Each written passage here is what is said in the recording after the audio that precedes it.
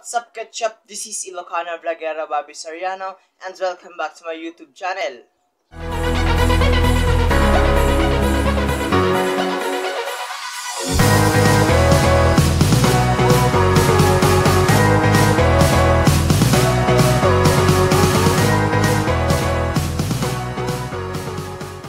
Long time no vlog kasi po nag-aaral po ako ng modular so pag-aaral po muna yung ginagawa ko pero ngayon naman po linggo at may free time ako gagawin ko naman po ang vlogging. Kasi miss ko na po ang vlogging. And for today's vlog gagawin natin ang 15 facts about me. And without any further ado let's proceed to the video.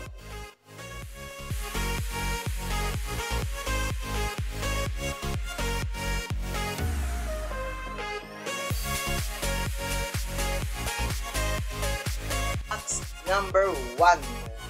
Ang buong pangalan ko ay Bobby Guntang Soriano Jr. Opo, Junior po ako. And facts number 2. Ako po ay 16 years old.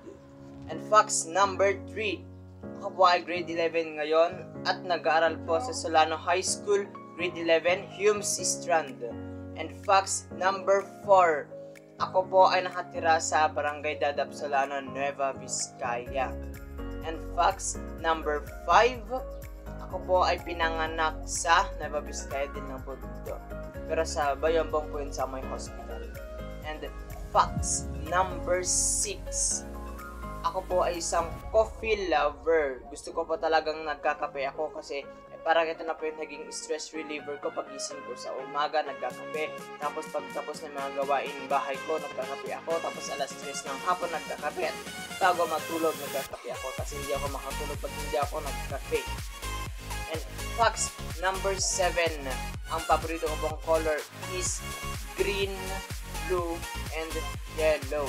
And facts number 8 is mga hobbies ko po is vlogging, dancing, and decorating. Yun po. And facts number 9.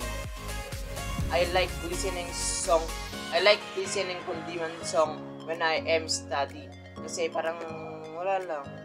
Gusto ko lang manood ng gusto ko lang makinig ng kundiman para habang nag-aaral ako.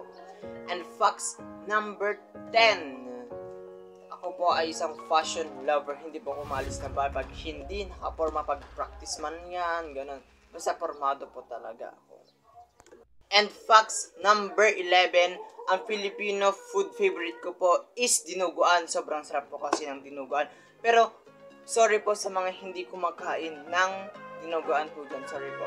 And facts number 12, I am unplant keto.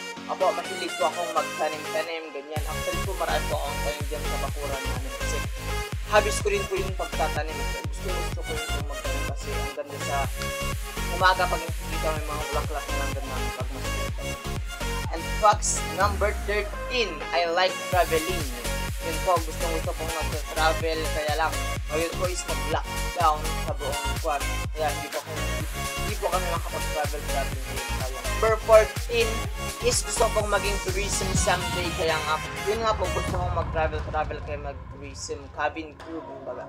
And facts number 15, I want to go in Batanes. Yun talaga yung pinakaunang first destination na gusto kong puntahan sa buong buhay ko.